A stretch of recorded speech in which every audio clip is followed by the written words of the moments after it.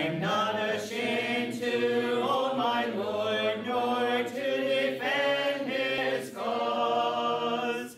Maintain the honors of his word, the glory of his cross. 今天的问题是：什么是洗濯盆？它的用途是什么？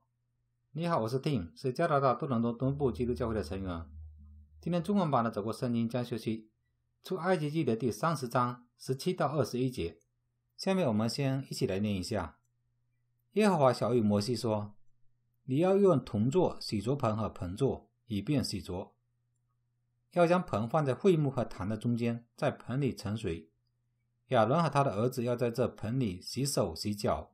他们进会幕，或是就近坛前供职，给耶和华献火祭的时候，必用水洗濯，免得死亡。他们洗手洗脚，就免得死亡。这要做亚伦和他后裔世世代代永远的定力。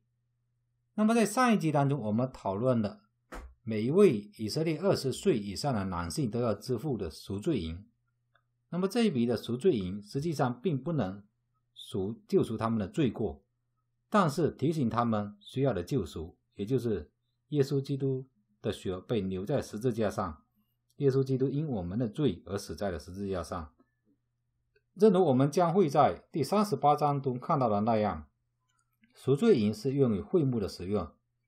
那么在今天的阅读当中，我们回到讨论会幕的最后一个物品，也就是洗濯盆，它必须由青铜来制成的，将被放置在会幕的院子中，在会幕和青铜祭坛之间。因此，当一个人进入会幕的院子的时候，他们首先看到的是方祭坛，之后是青铜制的洗濯盆。那么我们将稍后会讨论它的用途。在之后应该是上帝的会幕。当人们要向上帝献祭的时候，任何人都可以进入会幕的院子，但是只有祭司被允许进入会幕本身，而只有大祭司才会被允许进入会幕的较深部分，也就是至圣所，而且每年只有一次才可以进去的。那么在第十八节告诉了我们，洗濯盆是被亚伦和他的儿子用来洗濯的，水被用作清洗的象征。由于祭司是为主服务的人，因此他们需要必须进行清洗。上帝在这里只要求亚伦和祭司洗手和脚。那么他们在什么时候要使用这个洗濯盆呢？当他们进入会幕的时候，意味着实际的会幕本身。或者是他们来到祭坛旁时，在上面献祭。如果他们不这样子做，他们就会死亡。这就像我们表明了上帝非常认真地对待这些的指示。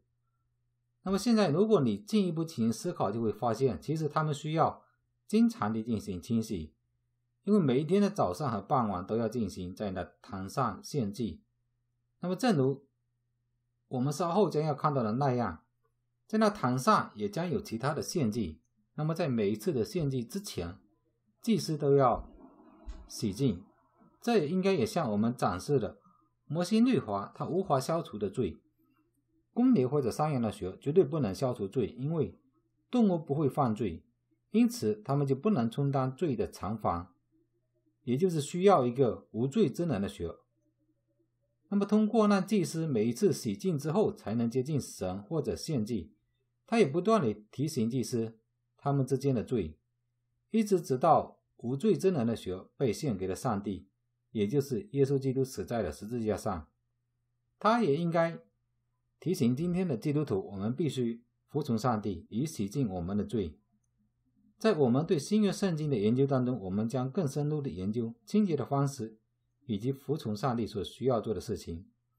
那么，关于洗濯盆的外观。荧幕上的图像只是它的一种可能的方式，所以这个也不必太过于追究它是什么样子的。好，今天我们的学习就先到这里了，我们将在明天回来继续接下来的学习，希望大家到时加入我们，再见。I'm not ashamed to